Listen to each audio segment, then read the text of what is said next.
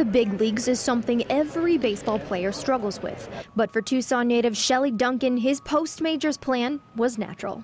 Baseball runs in the family, and um, it's pretty much the main thing I know, only thing I know. Now a minor league coach in the Diamondback system. It's um, it's a lot different than playing. You don't get the same adrenaline level uh, that you do as a player. Duncan will be hosting his youth baseball camp this weekend. Jordan Brown first introduced me to uh, clinics here in Tucson. He brought me on. Uh, he was doing one for a couple years, and you know had me do one, and uh, then we transitioned it into a free event.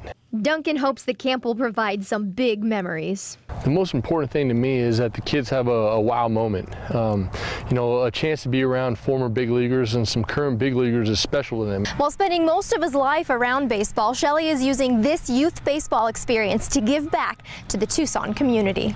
You know, I played a CDO Little League coming up, uh, CDO High School. We, uh, the funnest years of baseball were my youth, and um, to have the ability to, you know, make it to the big leagues, I owe a lot back to the city. A baseball family, Duncan's dad was also a pitching coach in the majors. Yeah, he's one of the best coaches in baseball, and he taught me a lot, not just about how to play the game, but you know the other side of it well. So there's a lot of things that I do, uh, you know, that come from him. With his own kids today, Duncan will share his knowledge with a group of kids this weekend. We want to give kids instruction, but we want to bring some fun to the game.